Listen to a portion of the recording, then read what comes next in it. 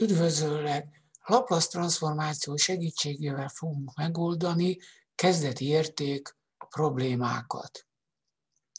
Az A feladat elsőrendű, a B feladat másodrendű, a C feladat harmadrendű lineáris differenciál egyenletet tartalmaz. Nézzük az A feladatot. Felhasználva a táblázatot, a differenciál egyenletet így tudjuk átalakítani. Ezt meg tudjuk oldani a kis y nagy y Laplace transformáltjára, és ezt az eredményt kapjuk. Ahhoz, hogy ezt vissza tudjuk transformálni, először résztörtekre kell bontani.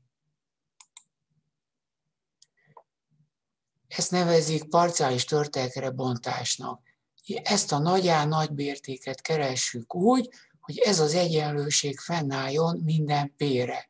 Ez azt jelenti, hogy a megfelelő együtthatóknak meg kell egyeznie. Ez egy lineáris egyenletrendszer a nagy A nagy bér, amit ha megoldunk, akkor megkapjuk a parciális törtre bontást. A táblázat felhasználásával valamint felhasználva, hogy az inverz is egy lineáris transformáció, megkapjuk, hogy az eredeti kezdeti érték probléma megoldása yt egyenlő e a 2 t mínusz e ad t.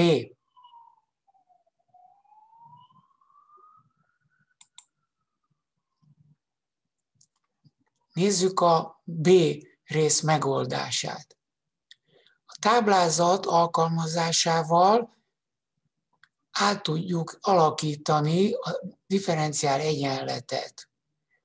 A kezdetértékeket is felhasználva ebből megkapjuk a nagy YP Laplace transformált értékét.